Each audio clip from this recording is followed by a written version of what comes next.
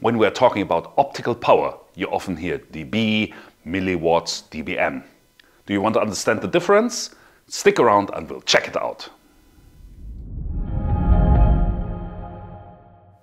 If we are talking about power, also about optical power, the base unit is watts.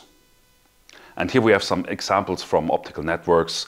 Uh, for example, the output power of DFB lasers can be 2 milliwatts. If we take the output power of VCSELs, they are used for uh, multimode applications. This can be 250 microwatts. And the situation loss of signal is, for example, 100 nanowatts.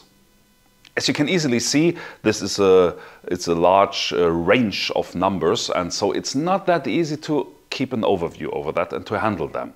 And for that, there was the idea of implementing a logarithmic scale.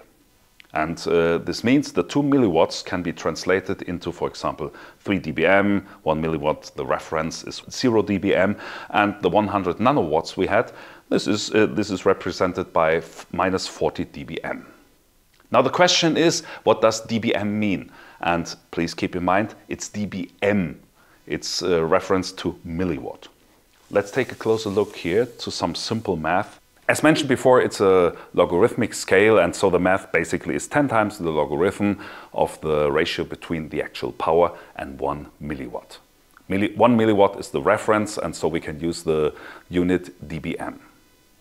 Um, per definition, 0 dBm equals 1 milliwatt, and please keep in mind, it's an absolute power, it's an absolute value for the power. Now the situa situation changes a little bit if we are talking about attenuation or amplification.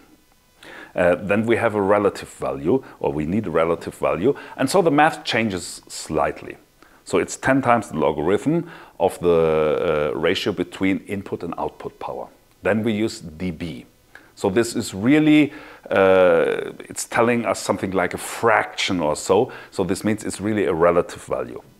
Let's have a look at an example. We have uh, input power of plus 3 dBm, and then we have a fiber uh, track with 1.2 dB uh, attenuation. We can easily calculate by adding or subtracting that at the end we will have plus 1.8 dBm. So it's simple math, just adding or subtracting. Um, but things get a little bit more complicated. If, for example, we have a transceiver, this is an LR4 transceiver, it has four laser sources inside, and we want to add up or calculate, derive, what is the output power of that. So here in this example, you can see we have four lasers, each with 4.5 dBm, and the calculated output power is 10.5 dBm. At first glance, you would have expected 18 dBm here. And uh, the normal way is you just recalculate or you retransfer it to the uh, linear milliwatt scale, you add all the, the, the power uh, values up, and then you retransfer uh, it to the logarithmic uh, dBm scale. But there's a simpler way to have a rough estimation. There's a rule of thumb. And this rule of thumb means if you double the power, this means you have to add plus 3 dB. If we take uh, this example, we have 4.5 dBm plus 4.5 dBm, so it adds up to 4.5 plus 3 dB. This means the, the, the sum of those two lasers is 7.5 dBm.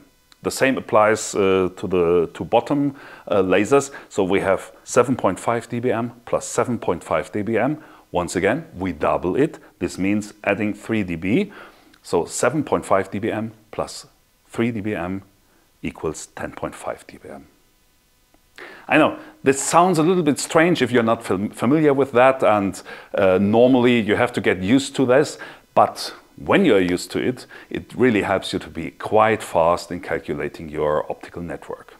I hope you learned something today. If so, please leave a comment and see you in one of the next videos. Bye bye.